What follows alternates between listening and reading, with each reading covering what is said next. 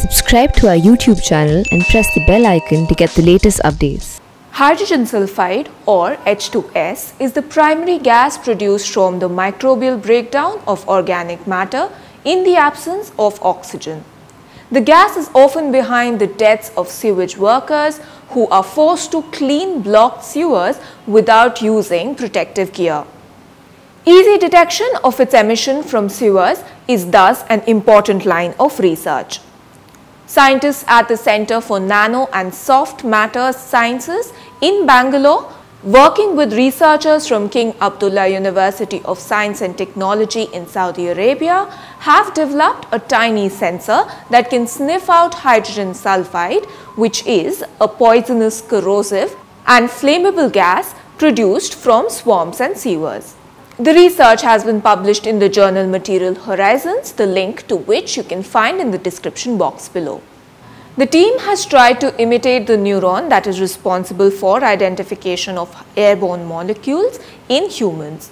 This is known as the olfactory receptor neuron. They achieved this by combining a layer of monomer known as tris ketohydrazone with what is known as a field effect transistor. The top layer made of tris ketohydrazone is porous and contains molecules that react with H2S. The second layer is an organic field effect transistor.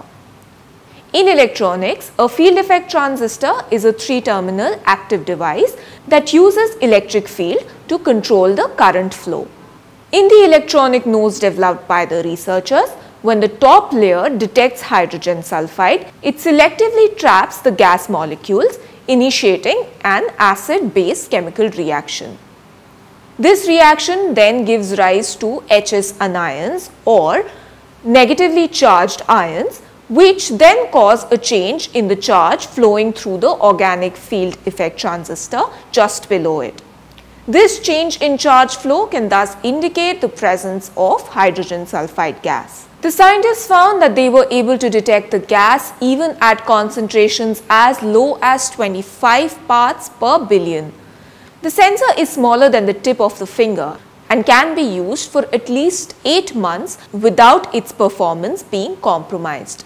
The researchers suggest that their device could in future be also tweaked to be used in other types of sensing applications. This is Mohana Basu, special correspondent at The Print. Visit theprint.in and follow us on social media for the latest news updates.